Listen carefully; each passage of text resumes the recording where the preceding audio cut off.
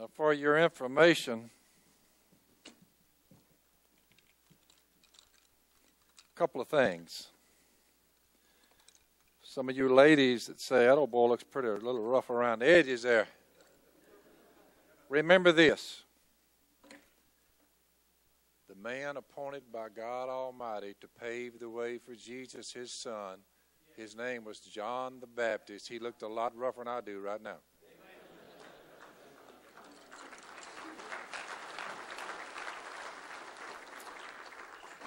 I have on my very best clothes, literally, that I own. I never bought a watch, as in a watch, uh, nor a suit, nor a cell phone. And my family told me one time, Dad, we're going to have to purchase a computer. I said, Y'all buy the thing and do whatever you do with it. I've never actually turned it on or looked at it. Now, some of you are thinking, you never owned a watch. How in the world you tell time? It's just about dark now. That's what time it is. We wait a while, it'll be on up into the night. Then the dead of night, the wee hours of the morning just for daylight, sun up, mid morning, sundown. Are you with me here? It leads for a lot less stressful life. Someone says, but you don't understand, Robertson, what you've missed, what you're missing. But I do know. See, I know what I'm missing. You understand what I'm saying? I know exactly what I'm missing. But to each his own as you can see, I know I look like a preacher.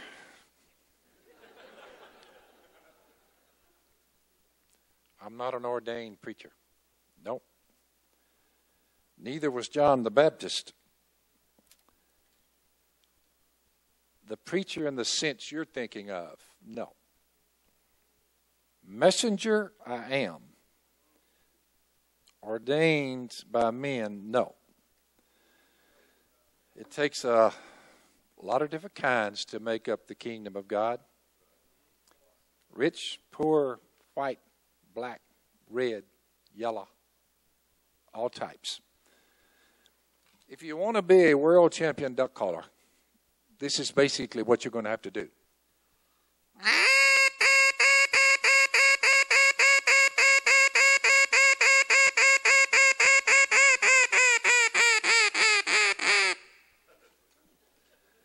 Unfortunately, I've never heard a duck do that. So they told me about 35 years ago, they said, listen, if you want to be to sell duck calls in America, Mr. Robertson, you're going to have to learn and, and win the world championship duck call contest over at Stuttgart. I said, well, show me what they do. And this cat, you know, he got in a stance and his eyes rolled back in his head. I'm sitting there listening to him, and I said, uh, Could a duck win it? He said, A duck could not even place in the thing. You know, Mississippi, when a, when a, when a hen mallard, a mallard duck, can't win a mallard duck duck call contest. I said, Boys, I tell you what, I don't think I'm going. So I've never been to one of those. However, you're looking at about 35 years of work. It's impossible to rightly govern the world without God and the Bible. George Washington, first president of the United States. Impossible to govern the world right without God and the Bible. Name the capital of your country after him, is what they all said. Anybody take a stand like that for God in the Bible? Let's name our capital after him. Everybody, yeah. While we're at it, let's erect a huge monument in his honor. So we'll never forget where he stood. And we did. Bible verses from the bottom all the way to the tip top. That capstone on the Washington Monument says, Praise God.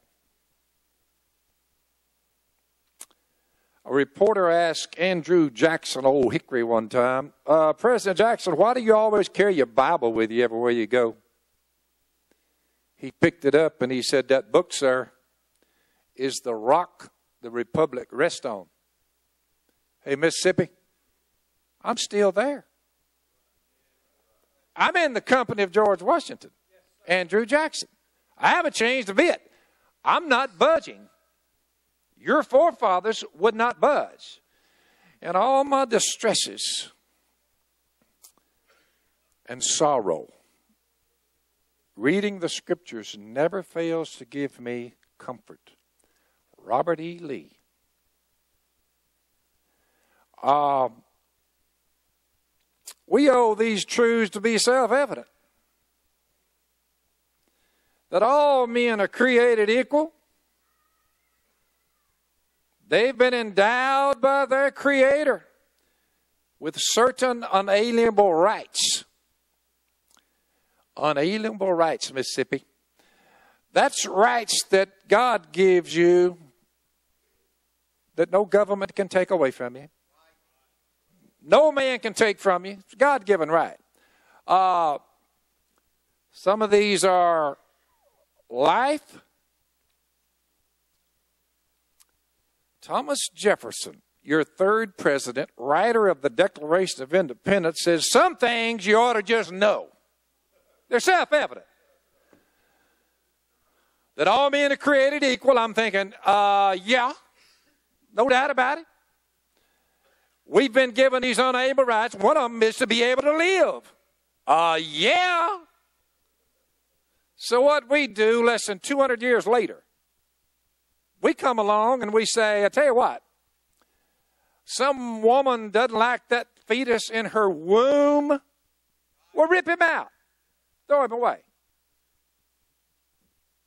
Say, what? You're going to do what? You're going to rip a human being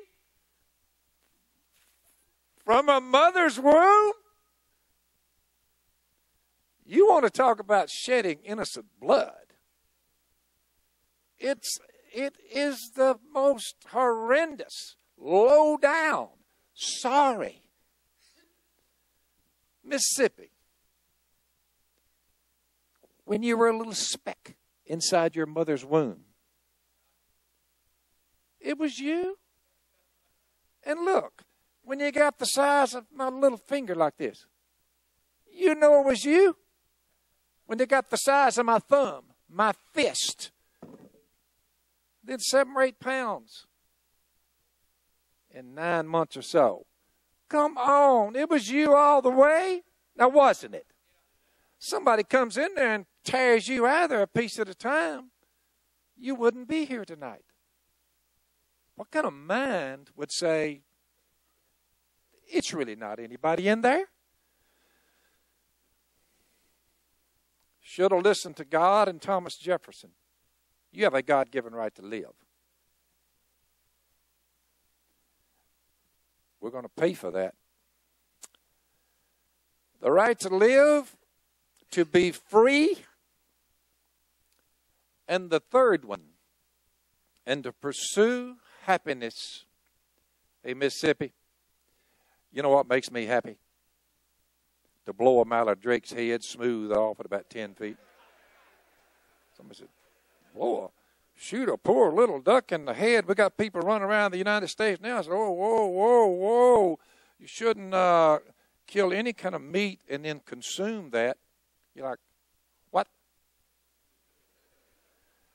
Look, if you're visiting from PETA tonight, one, we love you. And two, I'm just warming up, and do we have a story for you? I notice they take their best looking ones and they strip them naked in broad daylight, young lady, 20 years old, disrobes, totally naked, standing on a street corner in a major city, people driving by,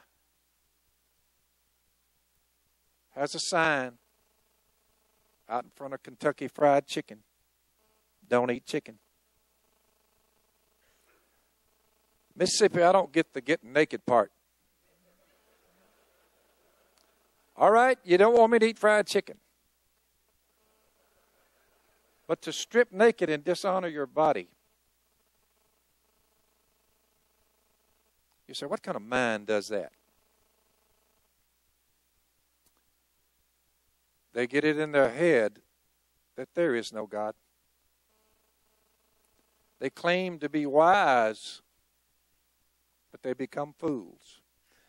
And they bow down to birds, animals, reptiles, and each other. They worship and serve created things, birds of the air, instead of the Creator, who's to be forever praised.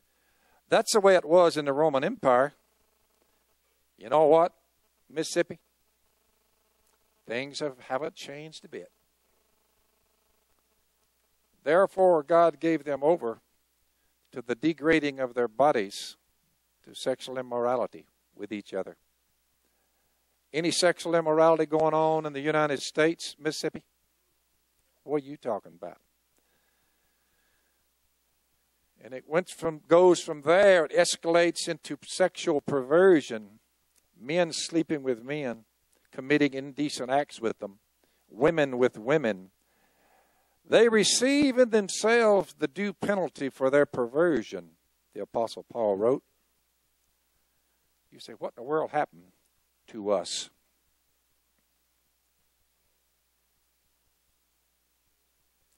We forgot what our forefathers said. More on that later. I wonder what God says about shooting ducks. Because I'm fixing to blow the duck calls, and the idea of Mississippi is to get them in within gunshot range. Kill them and eat them. Well, I wouldn't want to violate the law, and I'm not talking about the law men have. I don't want to violate anything God has said.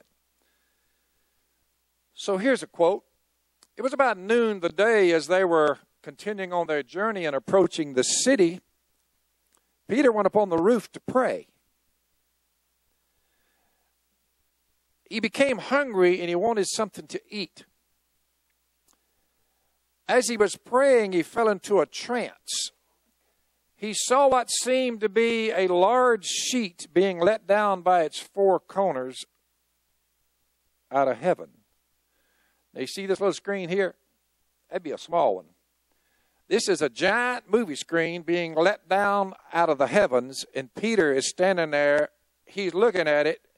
He was hungry. He wanted something to eat while the meal was being prepared. He falls into this trance. And he looks at this big movie screen. He's thinking, we got a message coming here.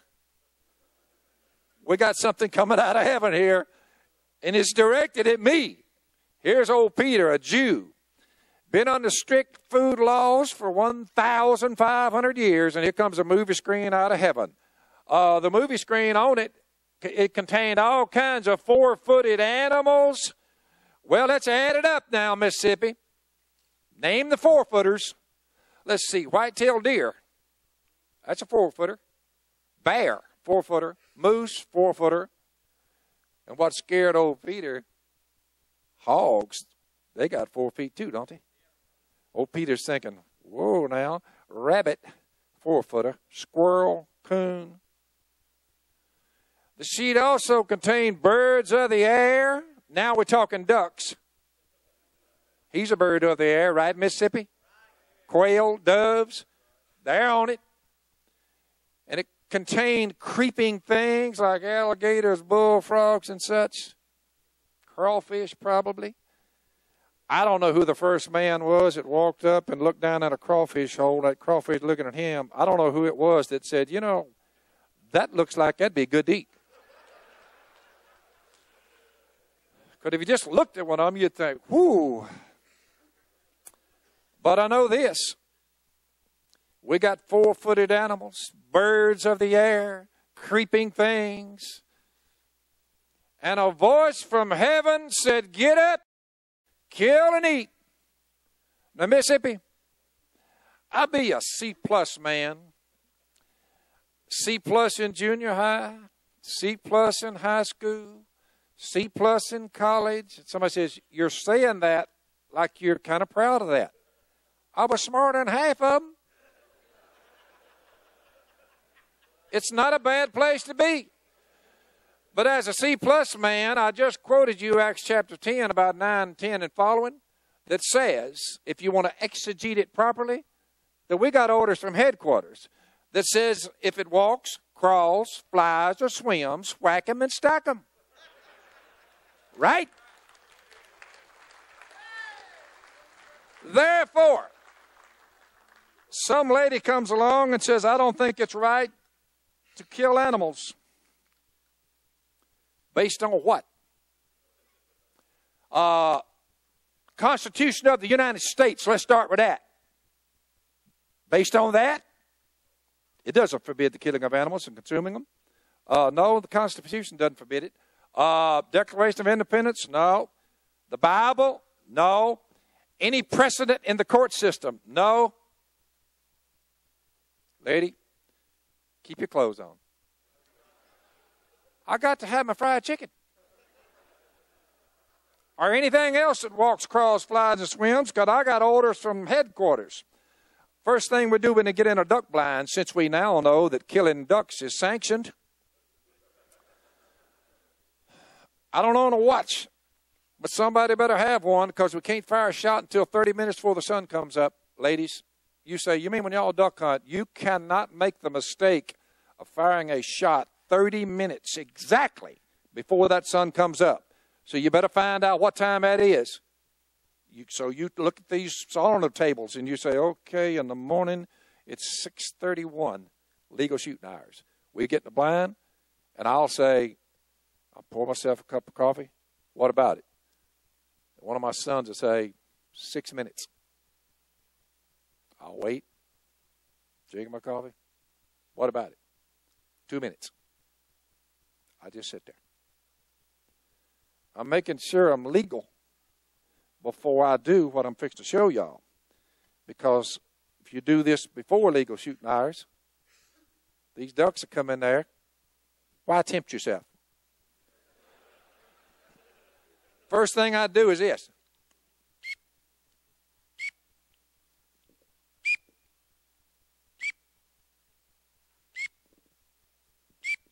I'm not doing that loud.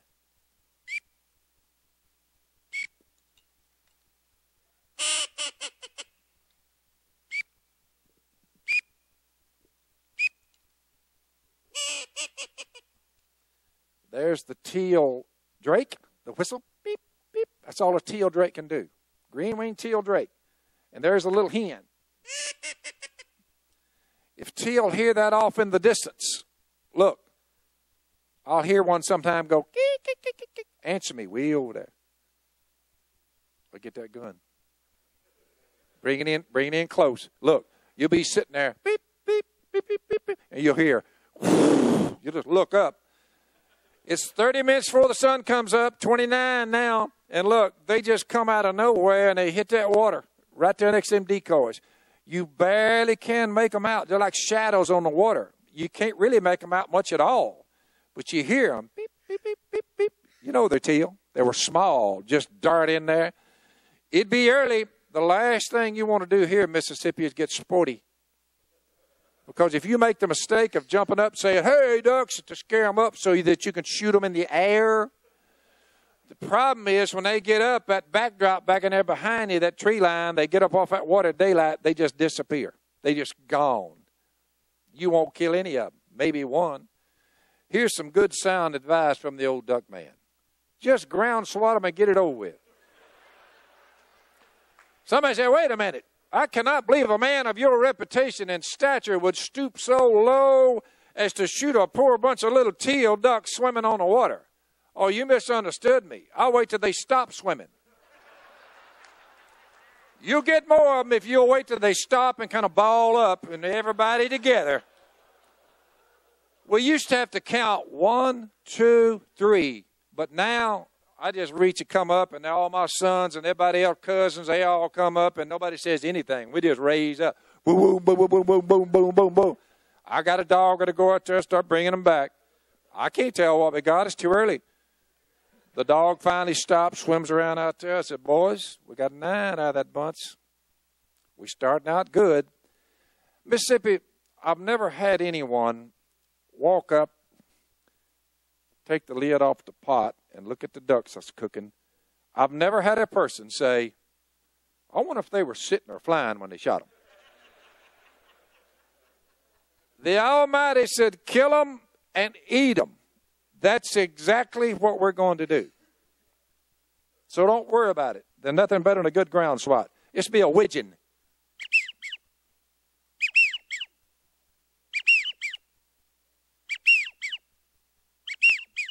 Licks.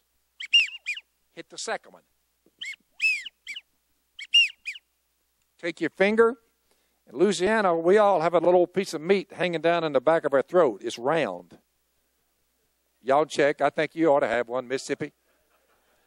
You look, and you see a little piece of meat. Well, the first time I saw that hanging back there, I said, What in the world is that? I said, Why would the Almighty put that little round piece of meat? Here's a news flash. If you didn't have that, you couldn't sound like a pintail. So God gave you that so you can sound like a pintail duck. That's what it's doing there. So you go, by the way, if you didn't have it, it'd be this.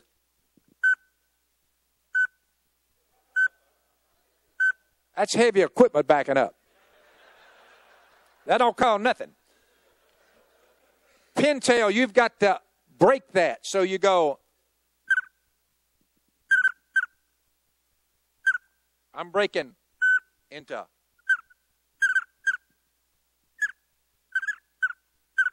So that gives you pintail, teal, widgeon, and teal hen.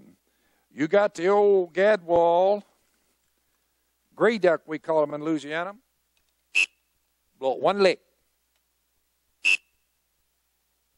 Wait about wait about four seconds.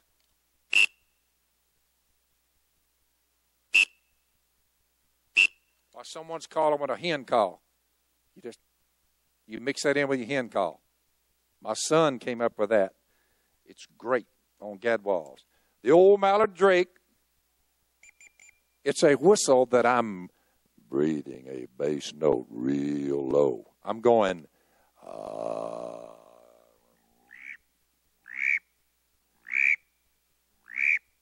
I figured out that if you hummed a bass note into that pintail widgeon whistle I built with a stem and put it in a little housing, I figured out you'd have a perfect mallard drake. Do you realize that no one in the world had ever thought of that? No one. So I thought about it. Figured it out. I sent that off and got a patent. U.S. Department of Trade and Commerce in Washington, D.C., Mississippi. I was the only one that had one. And the only way you could get one is contact me for a nominal fee, and I'd give you one. That's when things started looking better. You have to uh,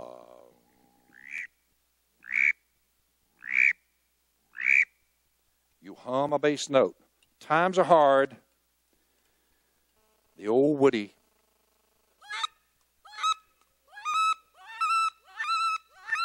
He's flying, that's what he does. But you want to be sitting, because see, if you're blowing a flying call out of flying Woody, everybody flying, nobody knows where to come back to. So if he be flying, you got to be sitting. So you hear him, be coming across the top of the timber. That's when they're sitting.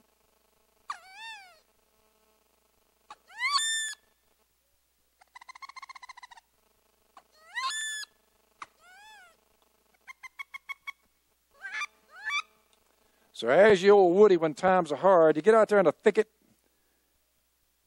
and you hear them out there. Ease up there. You get down in the brush, get that gun barrel stuck through there, ready to go And look, you give them that sit and call, and look, you shake the water a little bit. You give them that sit and call. They'll answer you. You answer them back. Shake the water with your hand. Shake the water a little bit. Get you some ripples coming out of there. Get you some ripples. Make you plenty of racket. But every five to ten seconds, shake the water, blow that sitting call. They'll answer you. Look, you'll look up directly, and they'll just swim single file coming through them trees. Now, y'all do what you want to. I said times were hard. as far as the mallard hens,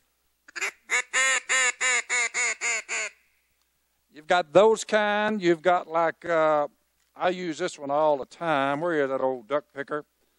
By the way, we named this duck call after all the fine women of the United States of America who pick their men's ducks when they bring them in. I said, let's name one of our duck calls Duck Picker. And all these guys nationwide, you got to remember, this is about the 10th speech of about a loop of about 27 cities, some of them up in New York State, Pennsylvania. So I get up north and I ask them girls up there, do y'all pick your men's ducks? And they said, no. So here's what I've concluded. See, I married Miss Kay. She be 16. You marry them at 16, they'll pick your ducks. The problem with a lot of people is they're waiting to get to be 20 years old before they marry them. That's way too old. Here's the deal. You wait till a woman gets to be 20 and marry her, i tell you what's going to get picked. Your pocket.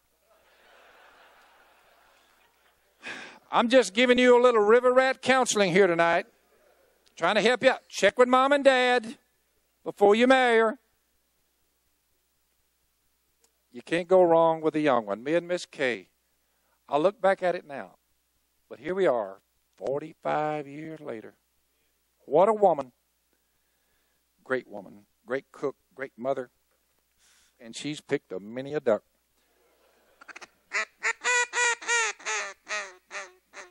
This is a little finisher.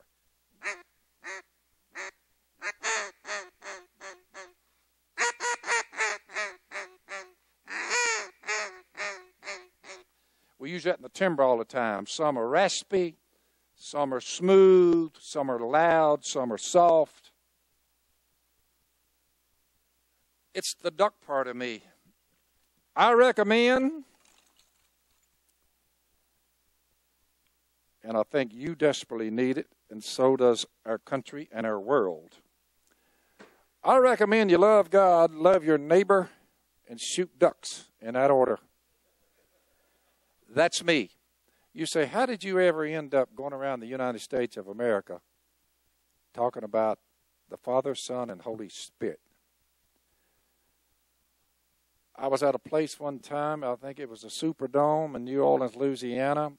They said, Will you give us a duck call seminar? I said, Yes, sir. They said, You'll be standing under that big sign that said Budweiser King of Beers. I said, Okay. I walked over there. This is about 12, 15 years ago. I stood on that sign. I gave them the duck call deal like you just heard. And I looked out there and I said, all these people. I said, I got to tell them.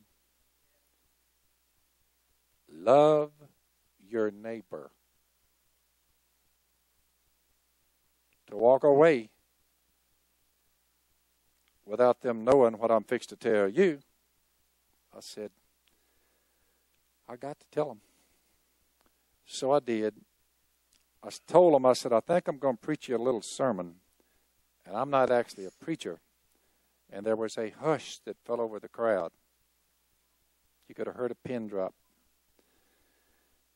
And I told them what I'm fixed to tell you. After all the smoke cleared, some fellows came up and they said, That took some gall. I said, No. You have to love them more than you fear them.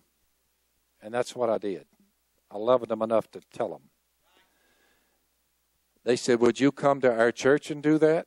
I said, Call Miss Kay. Well, I never dreamed that that was going nationwide. like that. I thought, well, I know what you can do, and the Almighty will put you on the road for sure. Tell them the good news about Jesus, and man, look out because the crowds get bigger and bigger. The success of our new nation does not depend on, does not depend on the power of government. Far from it.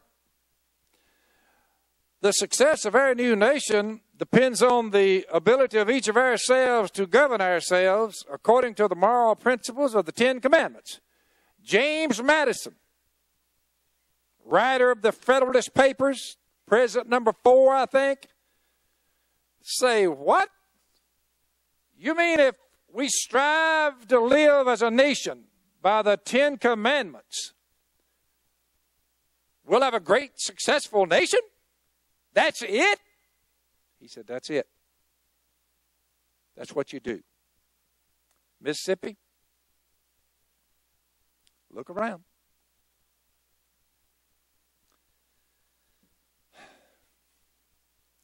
Will they steal anything that ain't tied down or what? Is there some thieving going on in Mississippi? You talk about steal. Thou shalt not steal.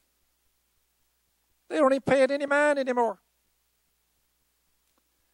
The atheist goes into the courthouse in Alabama and he sees the Ten Commandments in the in the rotunda there when you walk in, the foyer. He sees the Ten Commandments etched in stone. He said, It's a violation of my rights. It's been seven or eight years ago. Violation of my rights. You know what they did, Mississippi? They hauled him out there. I'm like, you took the Ten Commandments out of a courthouse? Our Supreme Court when they're seated, right behind them there's a big mural God given Moses the Ten Commandments. It's within 10 feet of them. These big doors, when you walk into the Supreme Court chambers, that's the law being given at Sinai. But they hauled it out of the courthouse in Alabama. Told old Judge Roy Moore, no can do. I'll just give you number five. Children, honor your father and mother. Mississippi, when your children dishonor, when they dishonor their father and mother, they drive too fast, they smoke dope, they go down and tear up people's property. I notice when they dishonor their parents and the laws catch them, you know where they end up? courthouse. Juvenile court, right? Uh, number six, don't murder, Mississippi. You want to violate number six? The laws catch you. You trust me. You're going to end up at the courthouse as surely as I'm standing here. Right? That's what they do with murderers. They have a court date.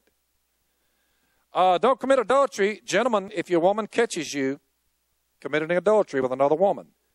There's a good possibility you could have a court date before it's all over. Happens all the time. About half the time it happens. You say, probably uh, we'll go down there and divide it all up. Yep. Kids are cry. Yep. Some of you been through it. Yep. Violated commandment number six. Number seven. uh, don't steal. You rob a bank, the laws catch you, you're going to have to settle at the courthouse before it's over. Burglarize someone's home, you're courthouse bound when they catch you. Uh, don't lie. What did they do with Martha Stewart when she told that little lie to the feds over a little stock deal? Where'd she end up, Mississippi? Courthouse. We don't care if you got $50 billion, Martha. You lied to us, honey. And look, we get you down in that courthouse, you better not lie when you get on that stand. That's perjury. That's really lying.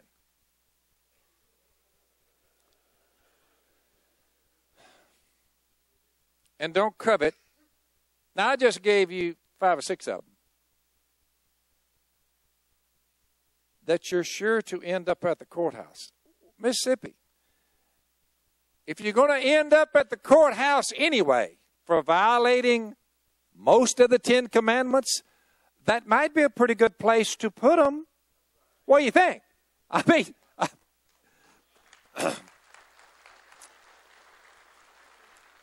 uh, Martha, you lied to us. So guess what? You're going to the courthouse where we where we took the commandments out of it because we didn't want to look on them.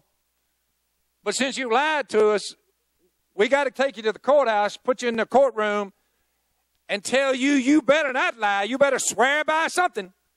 Don't be lying to us because you already told one that got you down here at the courthouse. So, what is it, Mississippi? We don't want Martha to walk by and see etched in stone, Thou shalt not lie. I mean, I don't think it would hurt her. What do you think? In fact, cut it any way you want to cut it. It's a great code. Think about it. Just take stealing. Let's just quit. Let's all just quit stealing in Mississippi.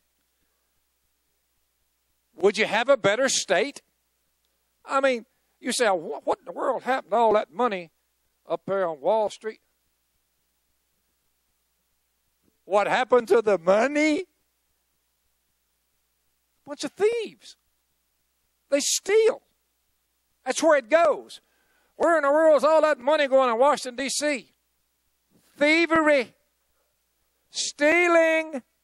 You think it goes all the way to Washington, uh, Mississippi? Really? Do you believe that it goes all the way to Mississippi?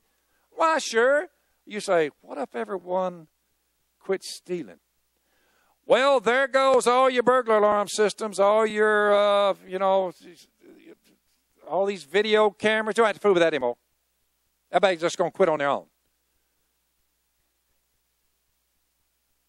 Would it be? Don't have to lock your truck. Nah. For what? Where we live, we don't lock our trucks. We don't lock our house. We lock nothing. You say, well, you don't have any thieving? No, see, the first line of defense are these terriers of Miss Kay's. You got these dogs you got to get by. If you get by them and you're still in one piece, well, then there I am, uh, you know, with these AR-15s, you know, double clips, you know, just I got enough firepower that say, is that boy ever going to run out of ammo? It's not one of the places you want to go to rob. Plus, most people, I'm sitting in my rig, they come up here and say, let's knock him off. And they probably look, I'll look up at them, they say, tell you what, let's get on down just a little further. Good night. I don't know whether they want to rob him or not. But isn't it a sorry, sad state that you put something down, it's just gone? Well, we're all laughing about how wicked the place is. How have you done with the Ten Commandments? You know what the sad part is? I haven't even come close to keeping the Ten Commandments. And look, I just mentioned about six of the ten stealing, lying, coveting, adultery, murder, dishonoring my parents. That's all I mentioned. There's 600 jealousy, fits of rage, gossip, hatred, envy. You're like, whew. Factions, witchcraft. You're like, what in the world? You know what the bottom line is? See, I'm telling you about the law. You say, how many human beings are under law. Everyone outside of Jesus on planet Earth are under that code of conduct. You know what the law demands, the law of Moses? You know what it demands? The law that God gave Moses at Sinai. You know what its demands are, Mississippi? 100% flawless obedience. No provision for mistakes. None. You say, well, why did all these animals get slaughtered for 1,500 years? just to let everybody know and remind them guilty, guilty, guilty, all of you. Everyone who sins breaks the law. I just gave you about 10 of them, and you have you done? Let's see. Have I ever been commode hugging drunk? Are you kidding? You say, You've been in Marlfield? Yup. You say, Did you kill too many ducks? Yeah. You say, Well, good night. The old Apostle Paul before me, murderer. You see, it doesn't make any difference if you've been a prostitute or just told a few white lies or you were a homosexual.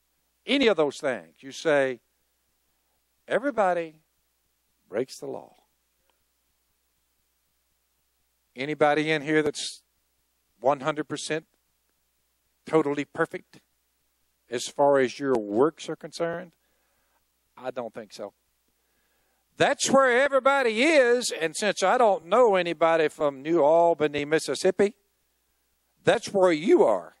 If you don't get in on what I'm fixed to tell you about, I'm giving you the bad news first, just one little bit of it. Everybody makes mistakes, and nobody's perfect.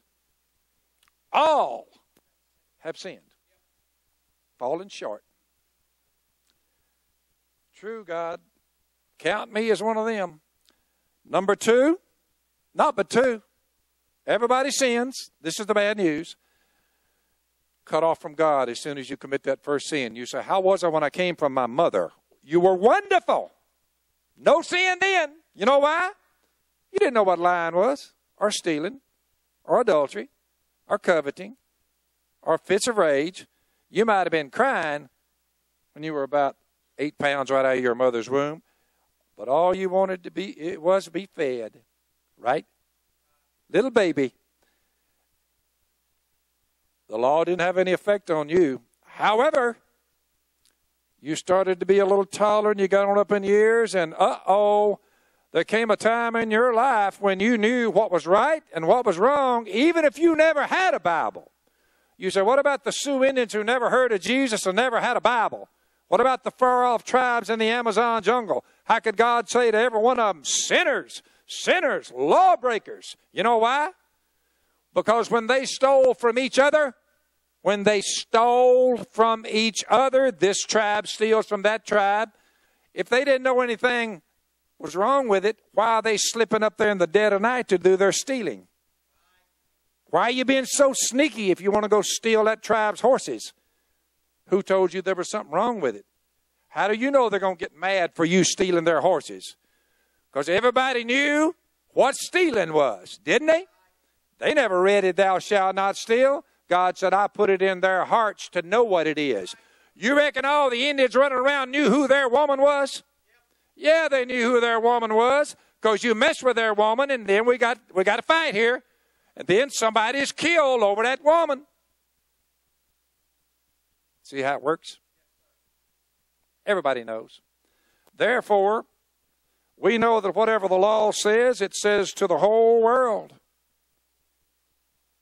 So that every mouth may be silenced and the whole world held accountable to God. Therefore, no one will be justified by the law. Rather, through the law, we become conscious of sin. He wrote it down in stone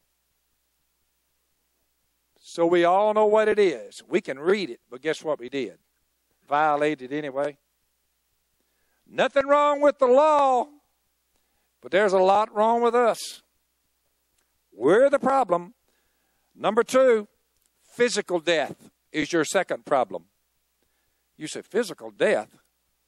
Heart attack, cancer, car wreck, lightning, gunshot, trip, a tree just falls on you. Happens all the time. You're like drowning. You're like How many ways are there for us to physically die? It's a list from here to Monroe, Louisiana. How are you going to fix it? You know any way out of that? It's going to happen to everyone in this room, including me. We've all sinned, and I guarantee you, and you know it to be true. You say, he ain't lying. And number two is you're going to die physically. Well, if you die physically, Mississippi, and you're already dead in your sins, your fate's sealed forever and ever and ever and ever. So your life's in shambles because of the sins that you committed, and physical death comes your way, and you're standing there trying to explain to God why you ended up like you ended up. Well, I'm removing that excuse from you here tonight. It's not that you're not going to know now. You're going to know the way out, the solution to your sin problem and your physical death problem, your grave problem, your casket problem. I'll start with this. Now we're on the good news. It won't take long, and I'll shut up and go back to Louisiana. Uh, what year is it, Mississippi? 2010 years. That meant last year was 2009, the year before was 2008, the year before was 2007. Let's walk it back. Because it had to be a one. Since it's 2010 years, there had to be a one, two, three, four, five, right? Well, evidently something rather large happened 2010 years ago, or we wouldn't all be saying it's 2010 years since it happened. I want to know what happened 2010 years ago that we all said, okay, uh, what's the date? well, that'd be uh, March, uh, whatever, 18, 19, 20. Uh, 2010 years. There's a little A and a D after that. 2010 AD. Anno Domini. You say, what does that mean? Year of our Lord. Now, wait a minute. All these atheists are signing their checkbooks and they write down there March the 20th, 2010 years since Jesus got here. I said, wait a minute, I thought you didn't believe in Jesus. Well, I don't believe in him. I said, well, you're counting time by him like all the rest of us. If you're counting time by him, he bound to have been here. Now look, you say, we're counting time by Jesus when he got here. Yeah, you say, what would you have had to do that the rest of the world, for the most part, a lot of them, you know, well, I tell you what, we just can't, we can't say that. These college professors, we, we got to call it something else. We just can't go with that. What are we going to call it? Uh, let's call it uh, 2010 CE. Bill, what is that? We'll call it Common Era. Common Era.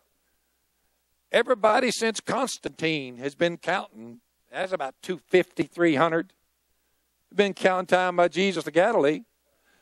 I figure for good reason. I know this, Mississippi. He was here. Or we wouldn't be saying it's 2010 years since he got here, would we? He was here. You say, why'd he come? You'll know the truth about Jesus you'll know the truth, and the truth will set you free. Well, one thing I've already told you that's got you by the throat the law got you. You say, Have you broke it? Yeah. It killed you. That's why the law of Moses is called the law of sin and death. You say, I violate that thing. I'm a dead man. I'm a walking, talking, dead person. Yeah. Jesus came down to set you free from that put you under another system. It's called grace. Therefore, you say, oh, What is grace to man? Trust God and try. And when you blow it again, it's removed, not counted against you. And it's free. You say, You mean every rotten, filthy thing I've ever done can be removed by Jesus? Because look, what did he do when he got to the earth? What did he say the price would be in order to get you with all your sins removed and none ever counted against you. You know what the price was? His blood for your sins. That's why God became. Do you think God, the creator of the cosmos, he created the cosmos through Jesus? You say, was Jesus there when it all started? Yeah. In the beginning was the Word, the Word was with God, the Word was God, and the Word became flesh. You say, God become a human being so they could get their hands on him. Yeah. How are you going to crucify a God that breathed a cosmos into being? You're not going to touch him unless he allows you to. So he sent Jesus in a human body built just like you in every way. Jesus took a cross to remove all your sins, blood for your violations. My life, God says, for yours. You want in on that? Well, I was 28 when I heard it. I said, All my rotten, filthy sins taken away. Lord, Lord. Yep. I said, What about that grave? How long did Jesus, God in flesh, stay in that tomb before he came out of that tomb? Three days. You say, Why in three days' time would God raise Jesus from the earth? Mississippi. If God removed your sins, what good would it do if He couldn't raise you from the ground? It wouldn't do you any good. Why follow Jesus if He can't get you out of that hole? You say, Why do you follow Jesus, Phil Robertson? Because of the resurrection of the dead. That's why. You say, It's the resurrection that you're standing on here. Yeah, everybody told me, Oh, the cross of Christ. I appreciate it greatly. But to me, the resurrection was proof that he had the power to remove my sin. You say, we're talking about dead men coming from the ground here. They told me years ago, son, you get up there and you blow them duck call, but you get to waving a Bible around. They said, don't you fear that that's going to hurt your business? I said, hurt my business? We're talking about the resurrection, the energizing of dead flesh and bringing it out of the ground. I said, I got to tell them about that. Not only did it not hurt my business, Mississippi, my business went out the roof. God blesses those who do right. So Jesus came. We're counting time by him. He died on the cross to take away all your sins. You say, You mean every rotten thing I've ever done? Yup. All gone? Yup. Will he remember them anymore? No. Removes them, forgets them. You say, What about any sin I commit in the future? Jesus died, was buried, raised from the dead. That's the good news. 40 days he spent on the earth to prove he was alive. A ghost doesn't have flesh and bone as you see I have. He had flesh, bone, a glorified human body. That's where you'll be. We don't yet know what we'll be, but we know when he appears, we'll be like him. You say, what was one of the things he could do? Well, he went through walls, just went through walls. Whoa. He appeared to the disciples. Another thing he did is he went back into heaven where he came from without a rocket booster you say that is getting out of Dodge. There's some kind of power going on there. Uh, you humans want in on this action or what? See y'all. I'm coming back in the same way I'm going. These angels are telling you. I'll be back. Realistically, what chance do you have unless there's divine intervention? See, I've heard them tell me, well, Phil, I think I'll take my chance without Jesus. I say, what chance is that? You're going six feet deep? Uh, yeah. So then what? If there's not divine intervention, Mississippi, we're never coming out of that ground. You say, we got one shot here, and I've just told you what it is. You say, uh, I'm going to have to double check you on that. I'll welcome you to double check me on that. You're a sinner and you're going to die one day. Jesus came to die, was buried, and raised from the dead to solve your problems free of charge. You say, and the blood of Jesus, where Jesus is now, constantly cleanses me from any sin that I will ever commit while I'm on planet Earth. Do you think people become Christians and just stop sinning? Look, I quit being immoral. I quit getting drunk. You say, but have you sinned as a Christian? Yeah. Trying not to. You say, what's the difference between that and law? Now I have one, Jesus my Lord, to speak to the Father on my behalf. Takes away all my sins. Any sin. You say, past ones removed, no future ones counted against you. You got it. Guaranteed to be raised from the dead. You got it. Given the Holy Spirit to help you while you're here. You got it. The Bible to guide your ways. Yeah. You say, what I do to get in on that? I've told you the message. I'm a messenger. You say, how do I get in on that message? Got to believe it. I can't help you there. I am the messenger. Faith comes from hearing the message. I'm just your messenger. I would never condemn you. I would never judge you. Not my job. I just give you the message. It's up to you whether you accept it by faith or not.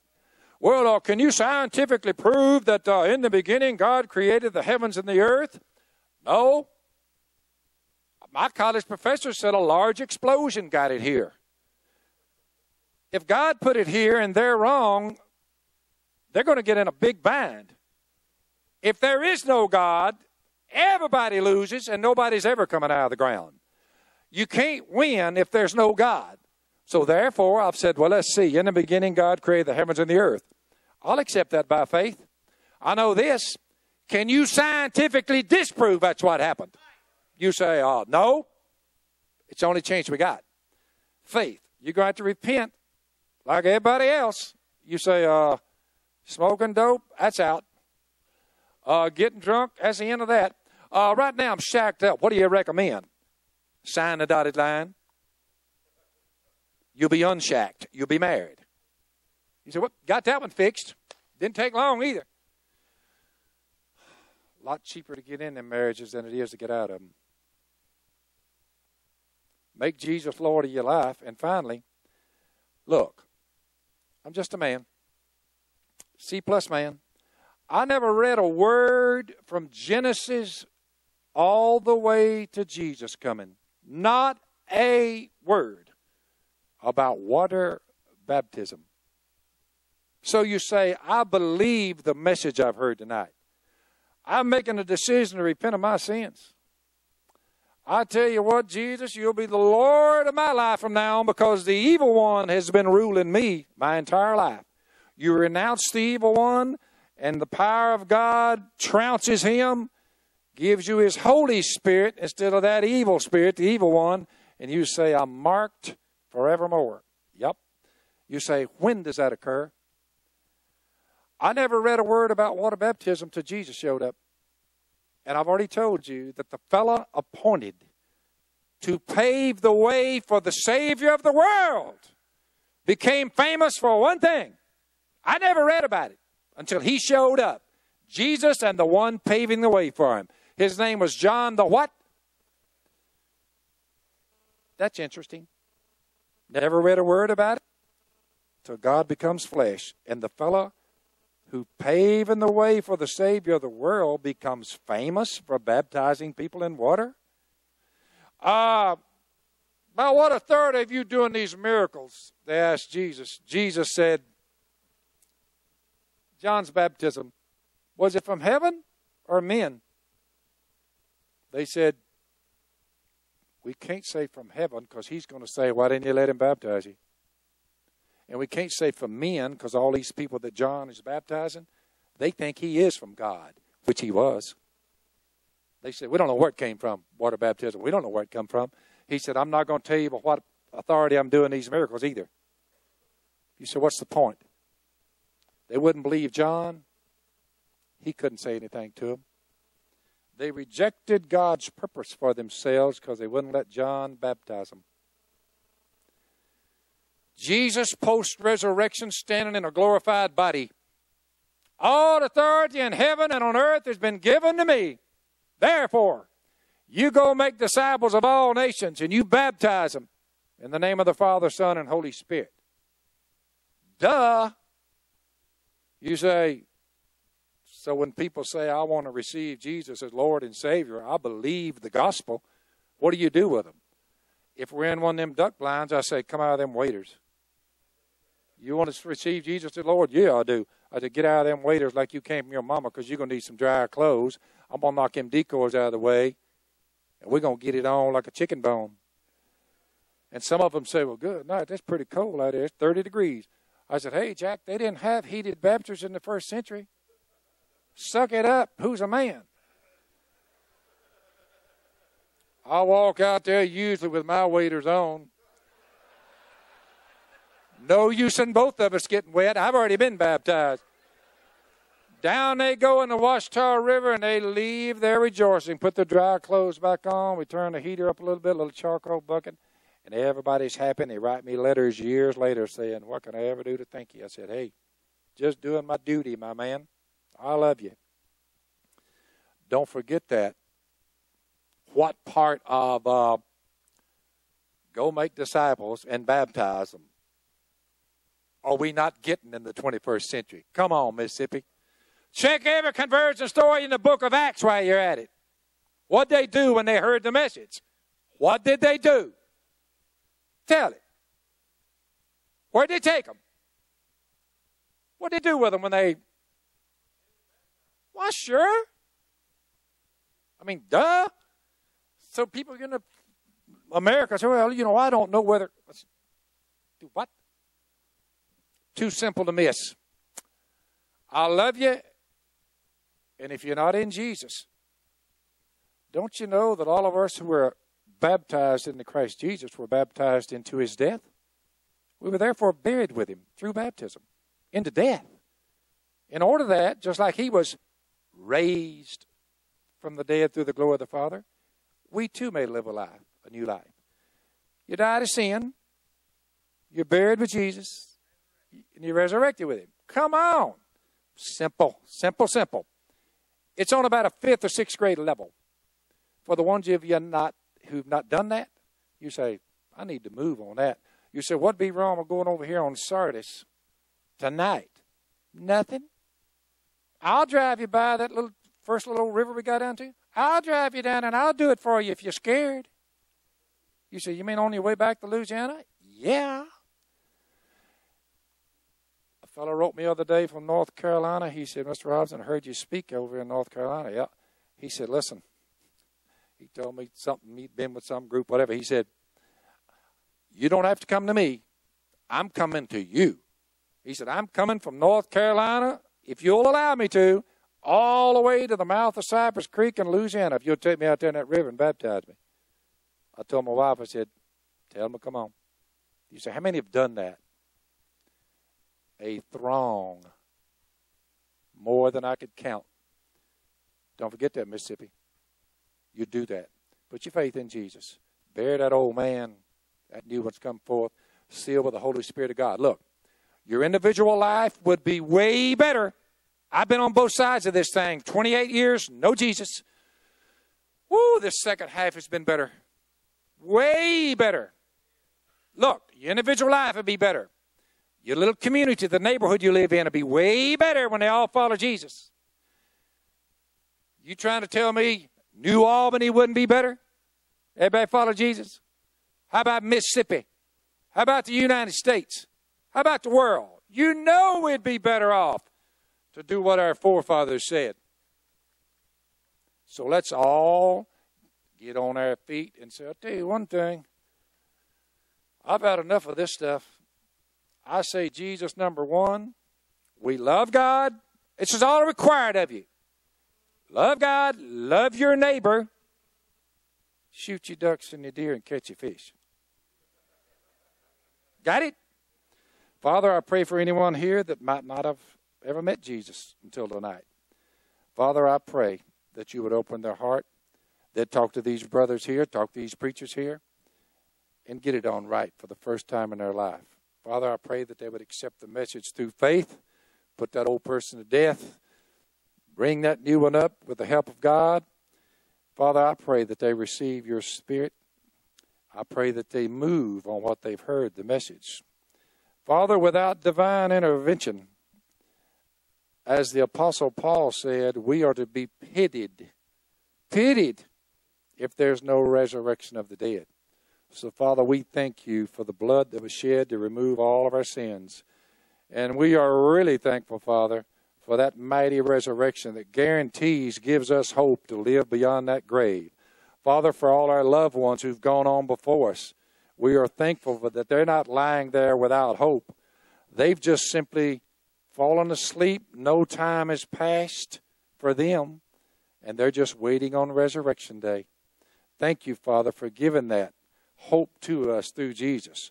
So I pray that if there's anyone here tonight, Father, that they'll come forward. I'll be happy to pray with them, Father, as one of your servants.